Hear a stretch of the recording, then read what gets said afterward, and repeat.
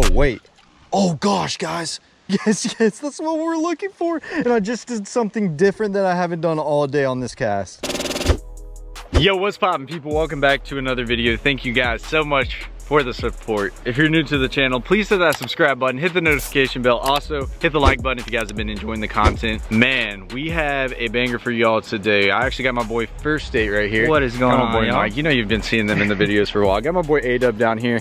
And then uh, Larry and Fletcher are actually filming a video right now. They're, they're doing a little bank fishing video. So I'm gonna be trying to search for some giant bass with some big worms. A-Dub's lending me a few big worms that he has. He just tossed them right here. These are actually some plum old monsters and uh, we're gonna be trying to catch some giant bass today on some big worms haven't filmed one of these in a good second i did post a big worm video but it was just like a compilation of a ton of big worm catches so we're gonna be trying this out today but we're gonna go ahead and get on the boats and see what we're gonna do are you are you going back with a-dub I, I really don't care whatever you guys want to do Yeah, yeah, we're gonna go catch some girthy girls. Gir- real quick. girthy girls big girls fat Yes, girls sir. so uh, they're gonna be in one boat. I'm gonna be in this boat. We're gonna be throwing these big worms and uh, hopefully we'll go catch a giant. So let's go ahead and hop on this boat. I'll show you guys my rig and uh, we will get after it. Well, guys, long story short, I left my GoPro with Fletcher and Larry, so I've been gone for a minute. Adam and Mike have been fishing. I actually drove all the way back to Fletcher's house thinking it was there, and then I drove all the way over to them because they ended up having it in their cart. So we are back now and we are ready to go fishing. So we are going to get this day started. We're going to rig up a rod and then hopefully catch a absolute donk right now because I, I'm in the I'm in the mood to catch just a donkey, guys. Like donkey, donkey, donkey. Okay. We are good to go. All right, so I have this rod right here, Pro TI on my Mach Crush. I was going to throw a big worm, so I want to cut off this chatter donk. We might throw this at some point today, I don't know. But since it's a big worm video, we're obviously going to start off with the big worm and try our best to catch some big ones. The sun has got up. It was an overcast day, um, and now the sun's peeking through, so some of these bass are going to get up in a lot of that cover and some of that vegetation as well. So this worm's going to be perfect for that. So we got a 5-aught EWG. I believe this is like a 10 and a half inch old monster. This is in plum color, which is a fantastic big worm color. Um, I love it. And then we got a 3 8 ounce weight that we just put on. Regular bullet weight lead, very basic. So, ton of basic uni knot. Flip our tag end, and we are good to go. So that's our little rig. Like I said, 3 8 ounce weight, 5 aught EWG, big worm. Usually when I'm throwing these big worms, I either use a 4 aught or a 5 aught, and I happen to have a 5 aught today. So we're gonna get today started. We're gonna start fishing. I don't know how it is. I don't know if they've been whacking them. Adam actually just caught one as I said that. Looks like a really small one though. But I don't know. They could be absolutely destroying them right now for all I know. I have not got to talk to them. So let's get today started. I think we'll um we're gonna start off right here. Fish some of this edge right here, skip under a few of these docks. Then we might come over here on this shady bank with a bunch of this cover and try to catch some there. It's actually been a very windy day today. It, it just died down recently. That was a horrible cast. Um, but it was extremely windy earlier. Always check your drag when you're changing your baits out. That's something that's very important because if you don't, your drag's either gonna slip or your drag's gonna be too tight and you're gonna end up breaking the fish off. So like I said, we're just gonna cover this right here. It's a mixture of vegetation and some wood cover along the bank. And when you have that hybrid of wood and grass, let me tell you, man, and bass love that. So let's go ahead and get this started and hopefully it won't take us too long to catch one.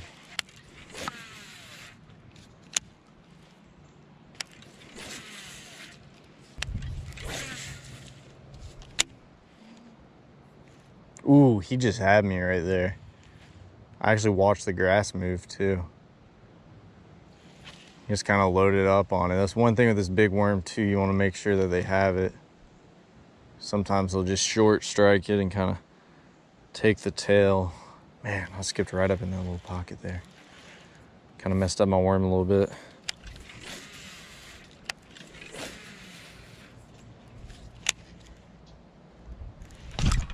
There he is.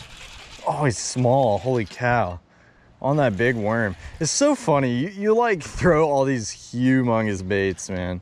I'm not saying the worm is nothing crazy, but he actually Messed it up too, dang it, you little squeaker. I don't want a little small one to mess up my worm. I'd like that to be a big one that messes it up. But guess what? We got the monkey our back today. All right, bud, calm down. Okay, you were just really feisty. Just calm down. I'm gonna get you right back in the water and we'll be on with our day. Hooked him in the bottom lip. That's kind of funny. But it's so, it's, it's hilarious when you throw these big baits. Sometimes the smallest fish decide to bite them. That worm's almost the size of that fish right there. That fish is almost the size of the worm. Okay, hopefully we'll catch a bigger one this next time. That is a good little sign. You know, it's always a good thing to catch the first fish of the day. So I'm gonna show you guys this. It'll save you a lot of soft plastics. This is a good little talking point real quick. So you see how this messed up the worm? What I'm gonna do is I'm not gonna rip the worm because then that's totally gonna destroy it. So I'm gonna thread it back on this hook, just like that. I'm gonna take it out so I don't puncture or ruin the bait, rip it by any means. And then at the front of it, it's obviously gonna have a slit like that. What you're gonna wanna do is you can get your teeth. That's what I usually do. I just bite it off, but we'll, we'll break it off so you guys can see. We're gonna break it off right where it is not ripped, just like that.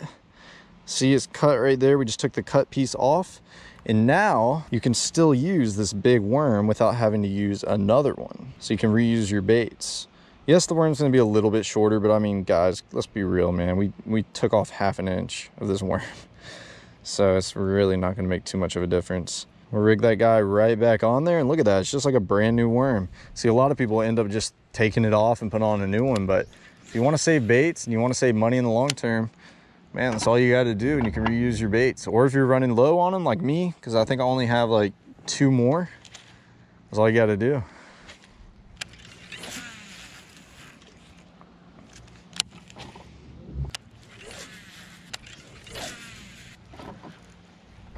Actually a few trees that are off this bank we're to throw on them right here.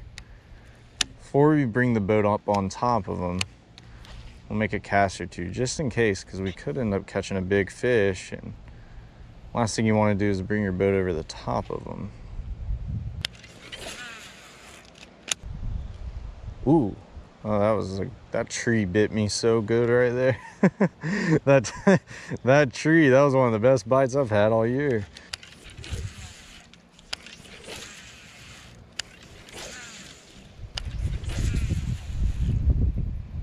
Oh my gosh. He's running. No. That was insane. He ate it like a topwater. Oh my gosh. That was the fastest fish. It's fast and furious, bro. It's the fastest bass I've ever hooked. Like had me on a limb and it just made the hook set a little weird and then that fish just started running a country mile. I don't even think I had the hook hooked him. Like I don't think I ever hooked him. I think he was just holding on to the bait. That was freaking crazy. That fish went from there to there in like two seconds. I couldn't even do anything. Dang, man, that was a cool bite too. He ate it like a topwater. Are you guys whacking them? Really? You caught some two pounders?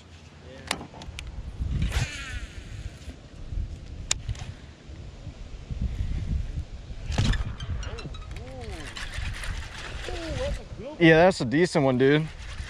That was first cast on this bank. It's like a little two, it's a two pounder. he ain't even two pounds, bro. I thought he was two pounds. Two pounds. He's not even two pounds. Why why do they been they've been looking so big recently when they jump? Yeah, their mouths are huge and their body's skinny. Look at that. That might be no. I don't know. He, I don't think he's quite two. Well, there we go, guys. That is our second fish. Nothing to really brag about. Let me get this hook out and we can show you him. Yeah, that might be two pounds. Yeah. You know what? He might be two. Pretty fish, though, is probably about a pound and a half. I don't know. He might be two pounds. That's whatever. He's around there.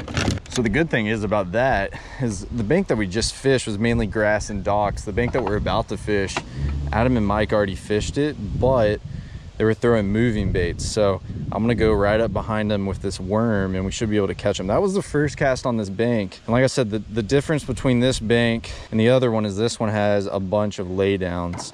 The other bank is more of vegetation and some of those docks. So we're gonna throw this around. Oh my gosh. What am I doing? What am I doing, boys? That's one thing about a Texas rig is if you don't peg this thing, it's not like I can, I mean, I can skip it. Don't get me wrong. Like, okay, I just skipped it all the way to the bank. I mean, you just can't skip it too well. You know, it's not going to be the easiest to skip, but you can still skip it. But we're going to work around this. That was pretty good though. First cast on this bank, we get hammered. So maybe we'll work our way down here and pick off a few of these bass that weren't wanting to eat the fast baits that they were reeling by them earlier.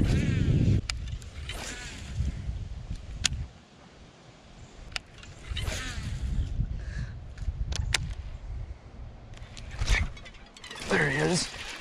Oh no. Oh my god. that was funny. He was stuck in the tree. I couldn't do anything.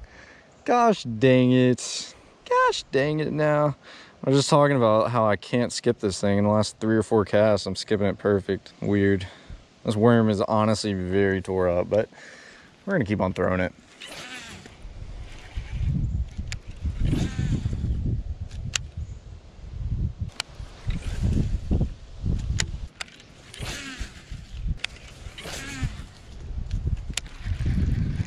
All right, I think we're gonna change this worm out. it's getting to the point to where I can't really use it. I am gonna keep it. I'm not gonna rip it just in case stuff, you know, things go south and I run out of worms. But then again, we could always put on a different bait. I'm sure you guys would be fine with that and catch some other fish. But we have a couple in here, so we should be good. These plum worms, man, they catch them. I, I love this color. It's like a worm I've used since I started fishing. Plum Old Monster. There we go just rigged it up simple like that. I should have showed you guys, but it's just like any other Texas rig. If you guys want to learn how to do that, all you got to do is go on my page, watch a couple of my tip videos, and I'll tell you exactly how to do it in some of them.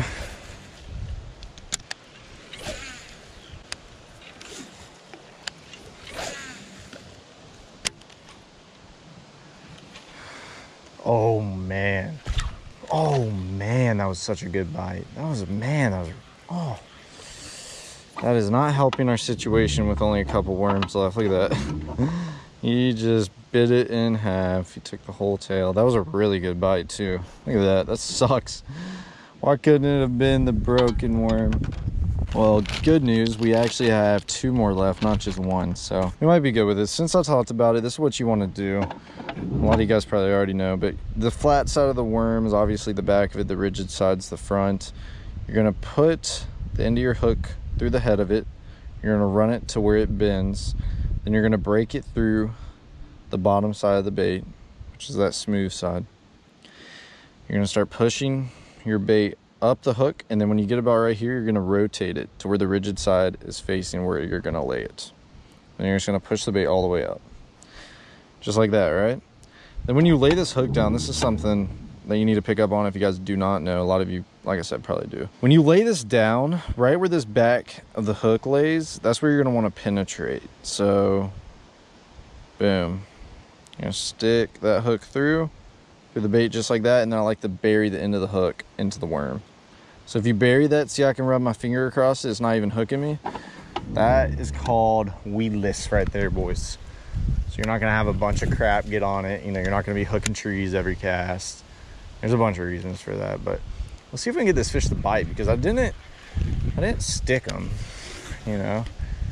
I just threw it in there and pulled it out of his mouth. I don't know if he's gonna bite again, but it was a dang good bite. That's what I gotta say.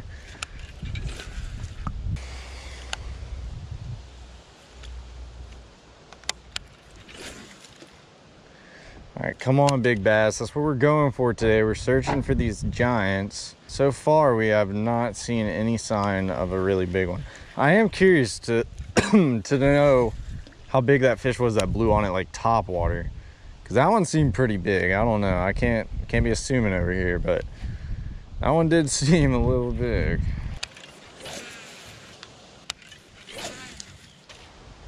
What in the world?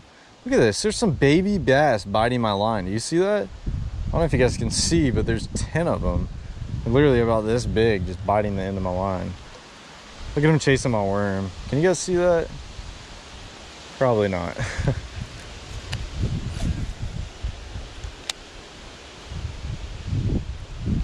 Wait, that was a freaking fish. Oh man. Oh man, oh man. Not again. There he is. Oh yeah, that was so cool. Threw back in there, You got it that time. Not a bad one. Not a big one, not what we need. But guess what? The fish is a fish at the end of the day. I have fun catching them. I'm sure you guys have fun watching them. Oh my gosh, you were a hyper boy. And you were like a golden bass. Holy cow, look at your colors, bud. That's a fat, chunky little dude. Calm down, bud. Okay, you're aggressive and mean. You're a little mean dude. Look at this. Pretty dude. Little fat tummy on him. Some of these bass are just so aggressive. They're made to be 10 pounders out the womb. Pretty one. It's got like a little gold tint to him. Been out here for about an hour now. How many have we caught? Three.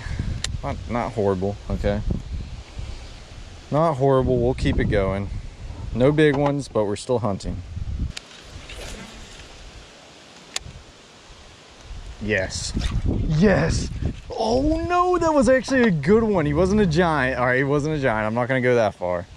But that was a good fish. That was a, that was at least a two, two and a half pounder. Son! After I just said we've only had like three bites in an hour, that was like two casts later. All right, we might be getting into him. This corner might be loaded.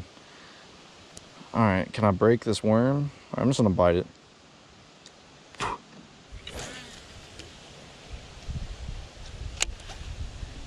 Oh, what? Oh my God. Yes! Dude, they're, they're just loaded right here. They're not big though. Ah, why are they so small? Okay. Ow, dude, what? Calm down, Becky. Calm down, Becky. Okay, you were just not up my line at this point, bud. Can I just get you back in the water? That would be awesome. Thank you for biting. Like, don't don't get me wrong. I still love you, but when you have a little bit of sass like that, I kind of want to get you back in the water. They're all dinks though. I saw a lot of people commenting. I have a couple different series on the channel, and um, searching for giant bass is pretty much where I go out on the hunt and pretty much document the whole process of trying to catch these giant bass.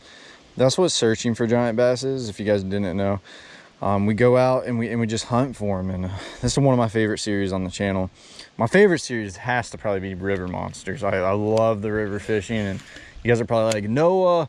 I want to see another river fishing video. Trust me, I do too, more than you guys. Trust me. It's just hard because we have all these boys down here and we're all collabing. And at the moment, we only have one big boat. So I can't really fit all five of these fools on my boat. That's just not happening, nor will it happen. So I don't know, maybe we'll get a cool river video for you guys soon.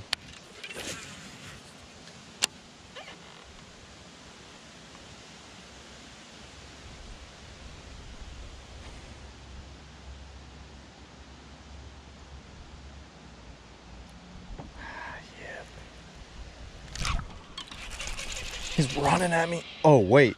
Oh, gosh, guys. Yes. Yes. Oh, yes, yes, yes. That's what we're looking for. And I just did something different that I haven't done all day on this cast. And I think we might have figured this out. That's a good fish, man. Oh, yes. That fish is over three pounds. Not a giant by any means, but that is a dang good fish, boys. Look at that. Look at the head on him. He's got a four pound head all day. Oh, yeah, that's a good one. That's what we're looking for. Gosh, that's good. I'm about to talk about what I just did. That was the lightest little bite. If you watch my rod tip closely, you could see tick, tick, and it honestly felt like a branch. But once he started going to the side, I knew exactly what it was. That is awesome. And I think we might have just figured out how to catch these bigger fish today. And if we start doing that and catching these, is gonna be an awesome learning point for everybody watching this. This is what I love about fishing, man. Everything changes day by day and you can just learn so much. Like I, I learn every day I go fishing. It's just awesome. Look at that fish right there. That's a good one. I don't know if he's three and a half just because of how skinny he is, but let me tell you, that head on him right there is to a four pounder. Thank you so much, buddy. You're a nice fish, and I appreciate you biting. Heck yeah. I did ask Adam and them if they've caught any good ones, and they said they haven't caught any fish over two pounds, so that might have been the biggest one out of here today. And if I do it again, what I just did, which we're about to talk about, it's gonna be it's gonna be nasty, man. So let's talk about what just happened and and maybe we can learn from it. So pretty much recently I've been throwing the worm out there all the way up on the bank, whether I was skipping it or throwing it.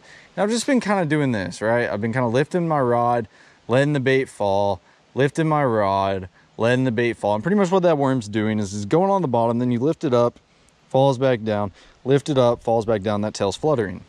Well, on this cast, I decided to try something different. I was actually thinking about it in my head. That's the crazy thing. First cast I did it. So I threw my bait up there. We're gonna throw up right up. No, no, no, no, no, no, no, no, no, no. No, no, no. What are you doing? What are you doing, bro? What are you doing?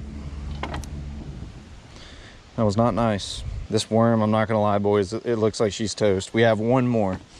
Look at that. That is a sad sight when you're catching fish. Especially when you just hook a good one and you think you figured out what they're doing. That is the last thing you want to see. We'll figure it out, guys. It's, it's all good, man. We're just having fun. We're living life. We're enjoying life. That's what it's about, man. Getting in the outdoors, having fun, taking your neighbor fishing, taking your friend fishing, taking your parents fishing, taking your grandparents, taking your family. That's what it's about, man. Anyways, what I was talking about before I was rudely interrupted by a fish. Not really. I would love to have caught that fish. But... So I'm throwing the bait up there. Let's let's go ahead and give her a little skip up there. So we let the bait hit the bottom. And then what I'm doing, instead of lifting this and letting it fall, lifting it, letting it fall, I actually put my rod to the side and just simple as it gets, guys, dragging this bait. So I drag it a couple foot, I let it sit for a second, I reel up my slack, boom, I drag it again.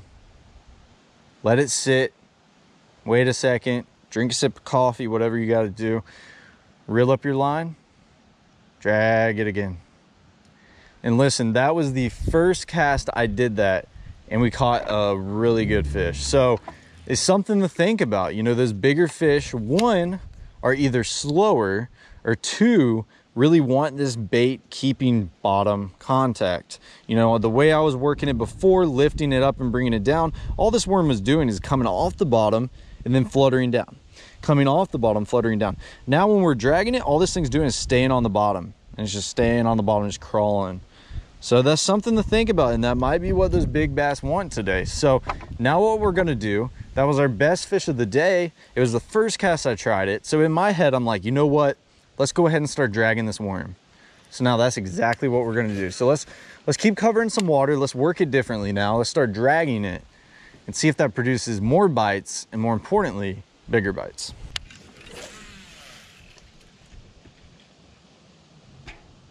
Wait.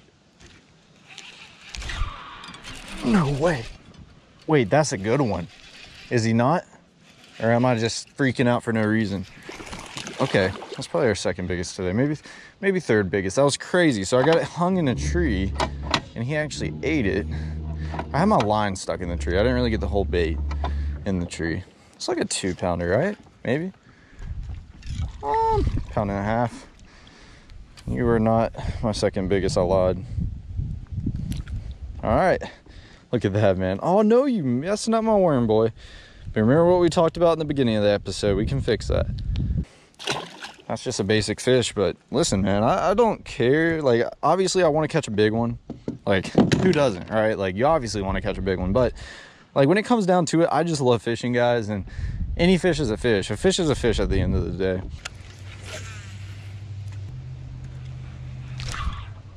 Yes. God, it's been a second since I've had a bite. He's not big. he is small. It's not even a pound and a half. He's just about a pound. Just gonna hop you right up here, bud. Hop you right up here, buddy. Nice. You ate it better than just about every single fish, and you were the smallest one of today. He's bleeding a little. Why are you bleeding? Get you right back in the water. I have no idea why he's bleeding.